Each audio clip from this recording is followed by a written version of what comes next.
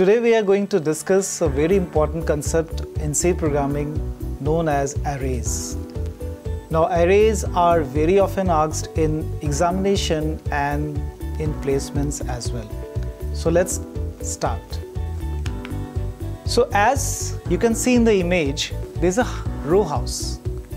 All the houses are similar to each other and they are adjacent to each other.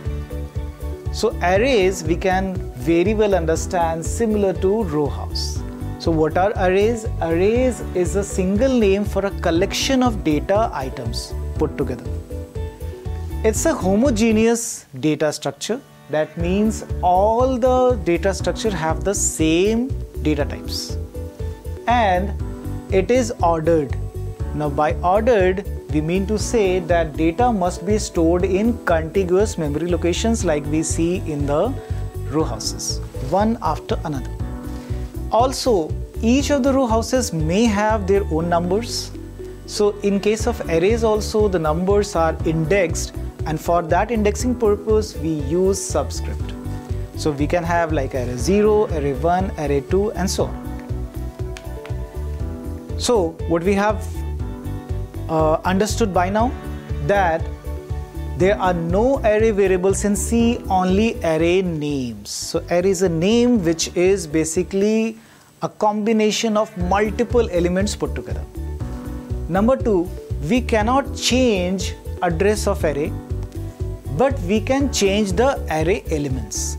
The address is allocated by operating system, so we, we are not concerned with the address and we don't want to change the addresses also. It is not possible but we can change the values of the array elements. And thirdly, till now we have been used to like access the array elements in the form of like a square bracket 2. But there are other ways of accessing array elements as well. You can access like 2 square bracket inside we can write a. We can also access value add that asterisk.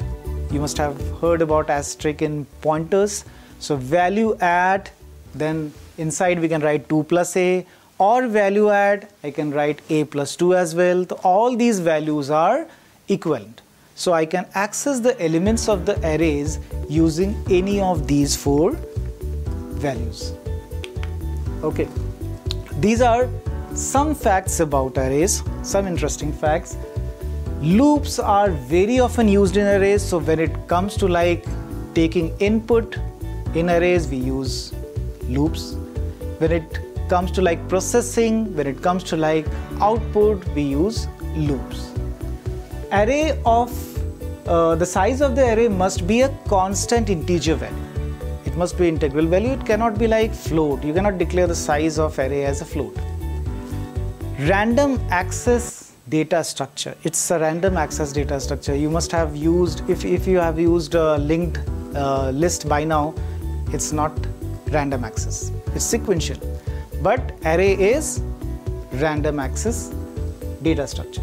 The first element is at index 0 on the other hand the last element is size of the array minus 1 so if we have n as the size of the array then last element is n minus 1 okay.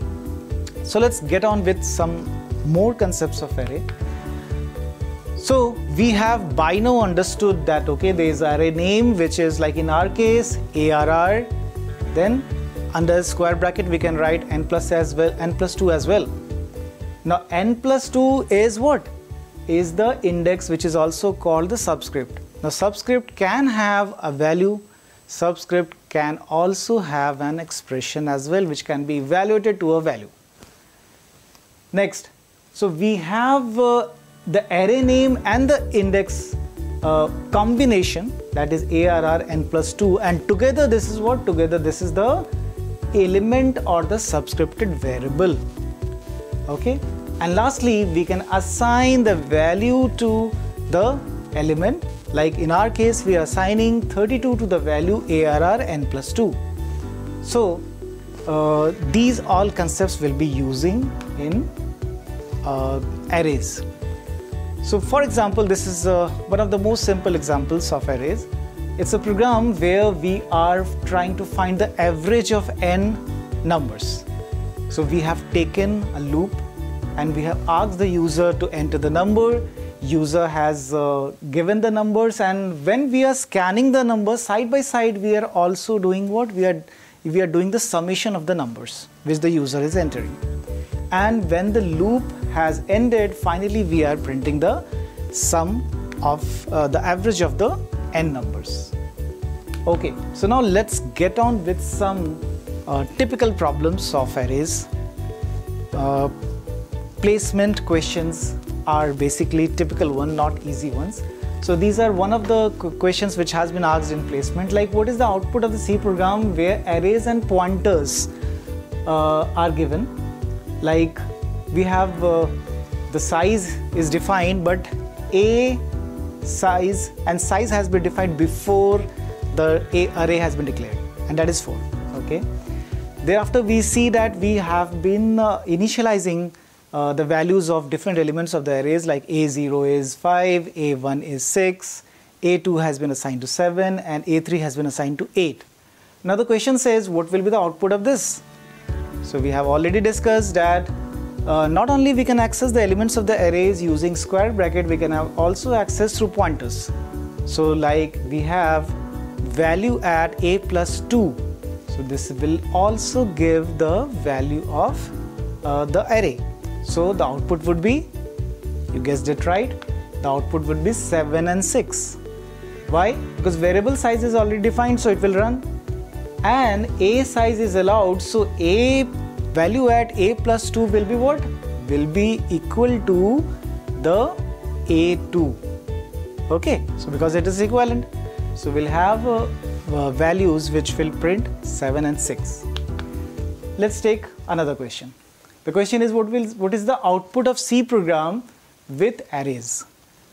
So here we find that we have a array which is defined. Can you guess? What will be the output of this program? See, it has been uh, the values have been declared inside the square bracket, and then thereafter we are printing the value. Yes, you guessed it right. So it will show compiler error. Why? Because array should be declared and defined within the square brackets. Here we have defined the round bracket. Okay, so it's a compiler error. Okay, question number three. In C, if you pass an array as an argument to a function, what gets actually passed? So the options are values of elements in the array, first element of the array, base address of the array or address of the last element of the array. So we whenever we are passing the array the address which is passed is the base address. Base address is the starting point of the address.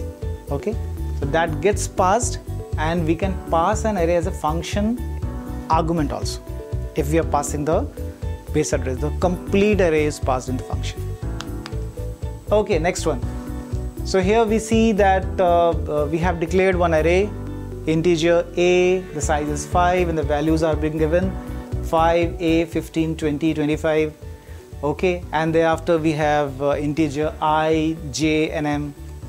Now we have i is equal to plus plus a 1, okay, and j is given as a 1 plus plus. So we have pre-increment and post increment both okay? M is equal to a i plus plus. And finally we are printing the value of i j and m. So what will be the output? Now i want all of you to pause this video and take your copy and pens and calculate it and then when you have done it compare your results with the results which i am going to tell you.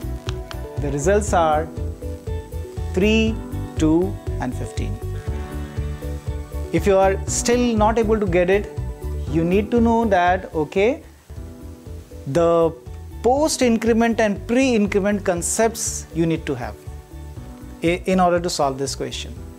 So i is equal to plus plus a. So values of a will be incremented and then it will be initialized to i. Whereas in case of j the value of a1 is initialized and then uh, thereafter the values are incremented because it's a post increment. Okay so we'll finally have the answer as 3 2 and 15 Okay, next question. Integer main, here we find that integer array 1, okay, array 1 is equal to 10. Now we want to print using 0 and under square bracket I have written ARR. So what it will print? Yes, we have already discussed. So answer is 10 because we can use this form of printing as well.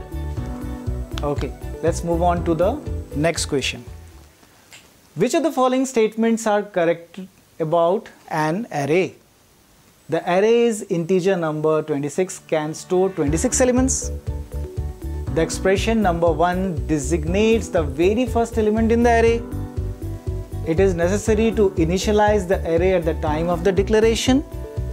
And number 4, the declaration num size is allowed if size is a macro. The question is which of the following statements are correct? So if you want more time, pause the video and think for a while. Here is the answer. 1 and 4. The answer is 1 and 4. Why? The one is the array integer number 26. That means size is 26. So we can store 26 elements from 0 to n minus 1 which is 0 to 25. And thereafter number 4 we can see the declaration num size is allowed if size is a macro. So even if the size is a micro you can define it before the main uh, function. We can still have it. Okay. Next question. A pointer is a block of memory uh, is effectively same as an array. So pointer uh, is same as an array. True or false? The answer is true it is possible to allocate a block of memory of arbitrary size any size at runtime using the standard libraries malloc function and treat it as an array. So we can do that. Answer is true. What will be the output of the C program where we have another question where integer main we have given array and the size and the uh, elements which have been initialized in the array is 2, 3, 4, 1 and 6. Now the question says what will be the output of the array. So we here we have used percentile u, percentile u and percentile u three times. And we have given ARR and then we have given address of ARR 0 and lastly we have given address of ARR. So what will be the output? So the output will be same no, not necessarily you'll have 1200 because 1200 is, uh, suppose it was, when it was running on my system, it was giving 1200 as address. It will differ from system to system. But in all the three cases, it is having what? The same address. Because ARR, the name of the array, holds the base address. Address of ARR 0, the zeroth element, the first element is on the base address itself. And ARR address of that means again address of the array which is the base address. So in all three cases we'll have the same output. Okay, one more question. Is there any difference in the following declaration? Integer fun and we have integer array and thereafter integer fun we have integer ARR and under square bracket we are given 2. Okay, so argument list is differing. The answer is no.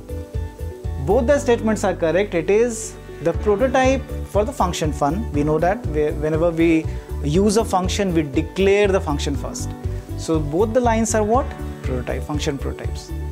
And accepts one integer array as the parameter and returns an integer value.